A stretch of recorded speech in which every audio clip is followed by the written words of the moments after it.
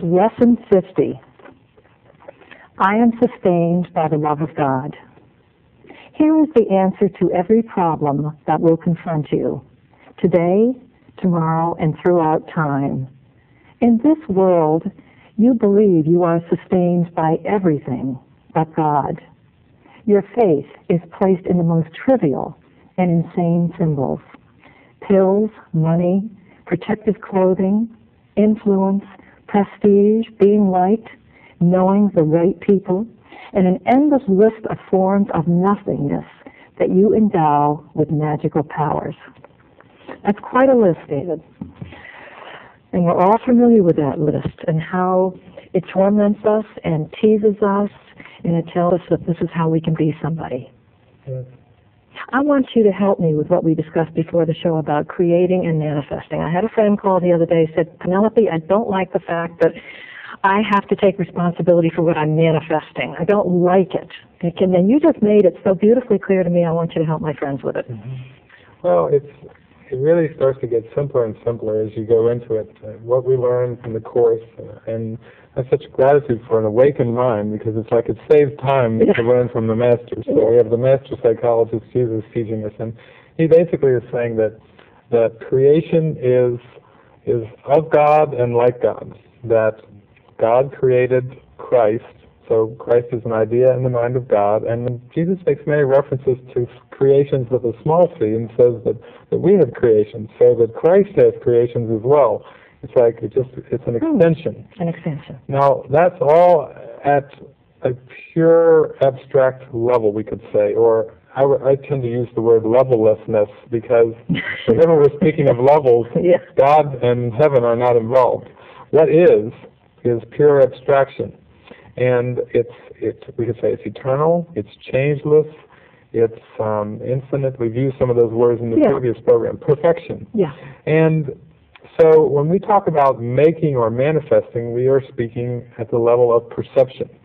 And the that is where a lot of error comes in when people will say things like, "I'm I'm creating I created this illu- this um, illusion, I created this cancer, I I'm created these, these, circumstances in my life, and so forth." And shame on me. And shame on me. and and basically, it's it's using that word "create." It's using that that power that comes from the power to create, when actually all perceptions are projections of the ego, and mm-hmm. so we could say that all things that seem to occur in the world and all of the world in history are, are projections and are manifestations.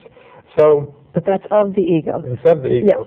Yeah. Okay. I mean, it, it gets back to that core thing about you know people say the world is so vast. I mean, you look at you know galaxies and solar systems and black holes and and and oceans and mountains and so forth. You know, mm-hmm. it's like if God didn't create that, then exactly where did it come from? And I say, well, it's just a testimony to how powerful the mind is. That to believe in the impossible, to believe in the, in separation, which is what the ego is, yeah.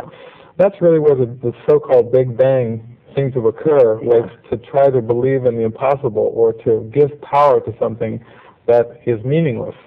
And so we have a vast fragmented cosmos. It's literally the scattering of stars in, in many different realms is kind of a symbol of how powerful this mind is that we're talking about.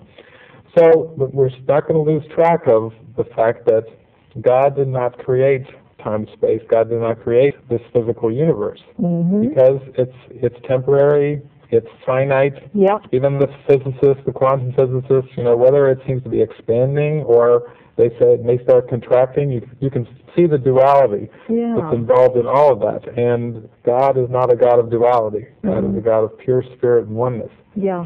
So if we bring it down to the practical level, every time that you attempt to take responsibility for specific circumstances, you know, it's playing right into the hand of the ego, oh. and there's a lot of guilt yeah. involved in that. And so it's more just an opportunity to call on the miracle and to really say, I want another way of looking at this. Yeah. Don't have to analyze it. Don't have to look back into the past and judge it and figure it out from a linear perspective. It's yeah. surrender the perspective. Because it doesn't exist. Because it doesn't exist. Now that's such a big one for us who love guilt, who love to go and go to church and what what's the word when you go and you're you renunciate your whatever it is. Be absolved. Be absolved and all of that. We do we like to do that.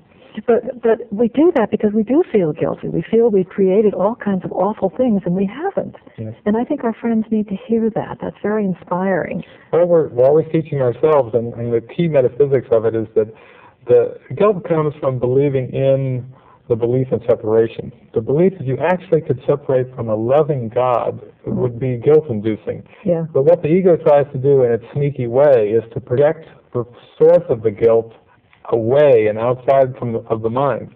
I'm guilty because I didn't pay back the money that I owed. I'm guilty because I said some harsh words. I'm guilty because I haven't lived up to my parents' expectations. You can see that what the ego wants is it wants us to find the source of the guilt in the world.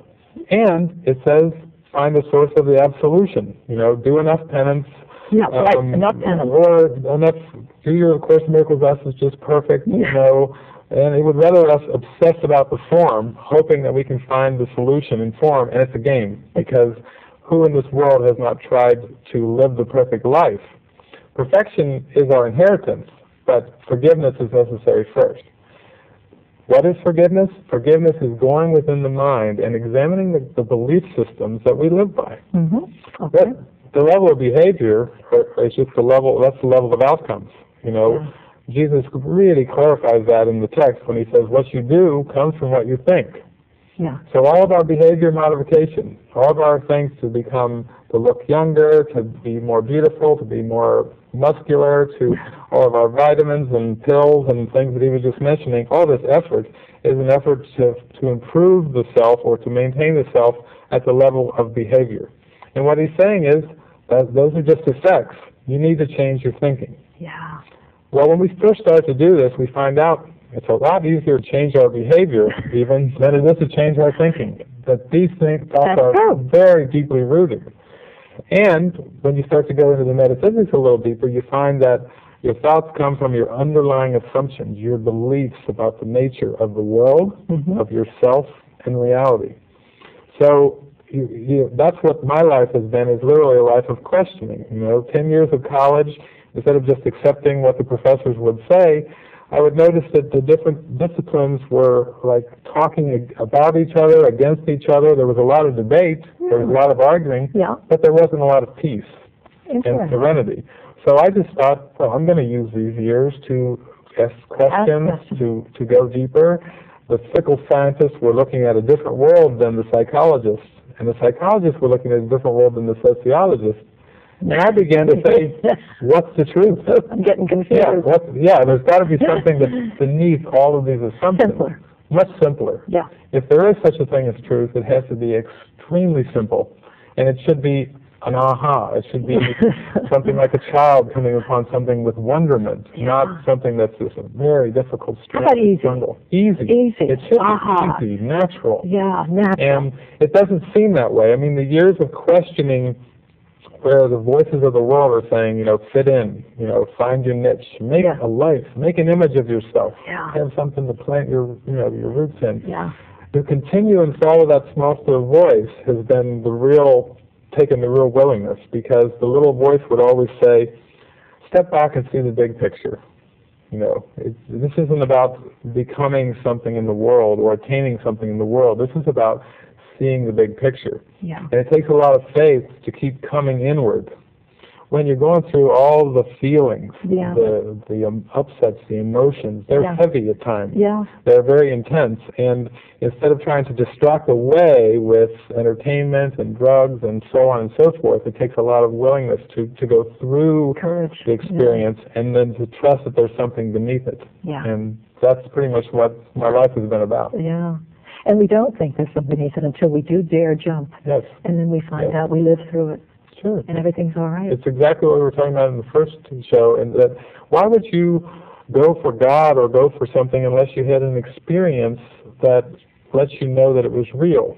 And um, when people talk about pain and suffering and victimization and the things that are on the news and that are so prevalent seemingly in this world, it's like when I started to just say, all right, Jesus, I'm just going to give my life over to you. I don't know where this is going, but I'm going to go for it. I'm Yeah. going to plant all my faith in this thing.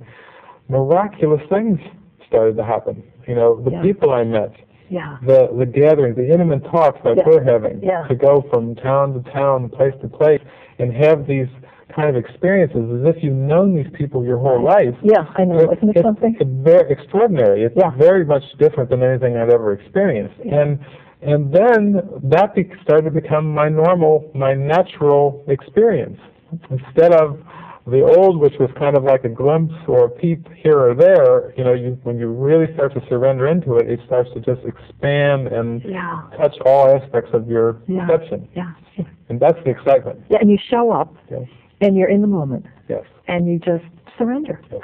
There's really nothing to do. In There's words, nothing to do. I, with all the college, you know, planning out talks and this and that, you show up, you walk, the times I'm walking to a, to a, a bookstore or to the pulpit of the church or to a living room or whatever, don't have a clue about what's going to be said, sometimes not even an idea of a topic, and then the presence of God orchestrates the gathering. That's right. This isn't about um, persons that are supposed to be no more than others coming. This is about joining together in an intention Yeah. and letting the voice for God speak That's among right. us. Yes. And where two or more are gathered, That's He is there. And it works. It- I mean, there's so much energy going on here Yes. today. It's so exciting. Yes. And I knew from the from from the week that where I was really very lost that I was so looking forward to joining my mind with your mind, David, and and sharing and extending and feeling happy and joyous and being very awake. Yes.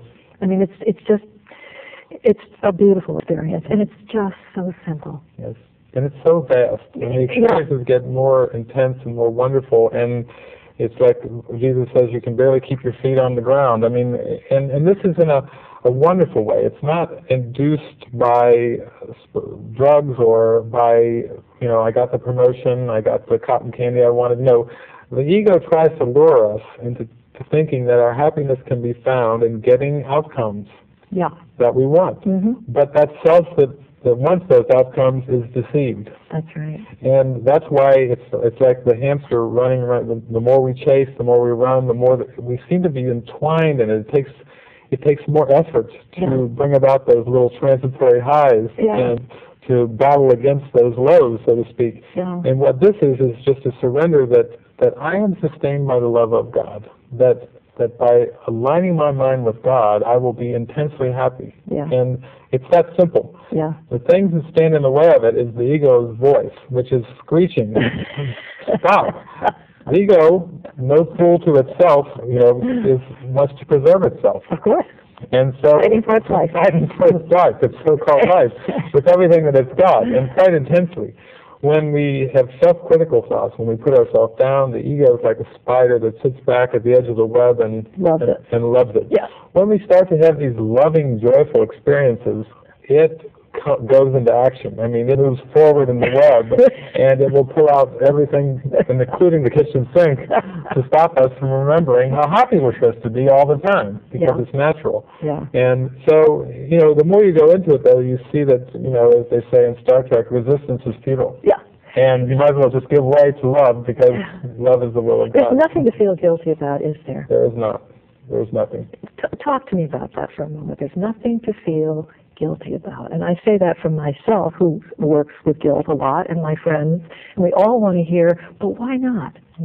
That's the ego wants us to buy the game that there are certain things that um, there's a justifiable guilt for. It just wants to break guilt up into, as it does with everything, duality. There's good Yeah. guilt, there's bad guilt. You know, there's there's justifiable guilt, like whoa, you should feel guilty about that, and well, you can let that one go. That's in the lesser camp, you know.